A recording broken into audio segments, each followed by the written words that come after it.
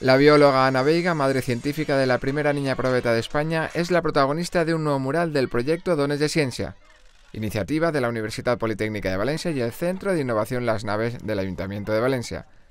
Obra del artista Marta La Peña, el mural está situado en el Centro de Educación Infantil y Primaria de Pinedo.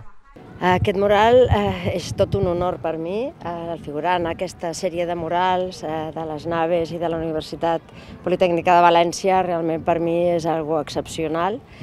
Si això serveix perquè els nens eh, tinguin més consciència del que representa la ciència i eh, intenta animar a algun d'ells a dedicar-s'hi, això ja serà una gran, un gran logro. És un camp fascinant, és un camp en el qual tens l'oportunitat d'aprendre coses noves contínuament i espero que hi hagin vocacions científiques que vagin, vagin apareixent cada vegada més, tant en nens com en nenes, perquè en això no hauríem de, de fer la diferència. Sí. En el mural destaca un retrato de Ana Veiga acompañado de una segunda imagen con el reflejo de su figura y de referencias directas a su investigación.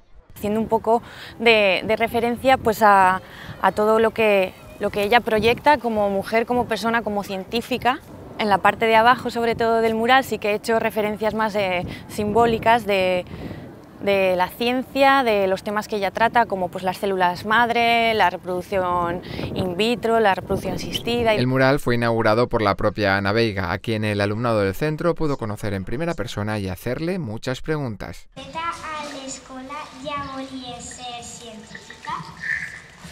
Sí, de xicoteta a l'escola ja sabia que m'agradava molt la ciència, les ciències naturals, els animals... Con este son ya 27 los murales con los que Dones de Ciencia está contribuyendo a visibilizar en los centros educativos la figura de grandes mujeres del mundo de la ciencia, en un proyecto que cuenta con el apoyo de la Fundación Española para la Ciencia y la Tecnología del Ministerio de Ciencia e Innovación.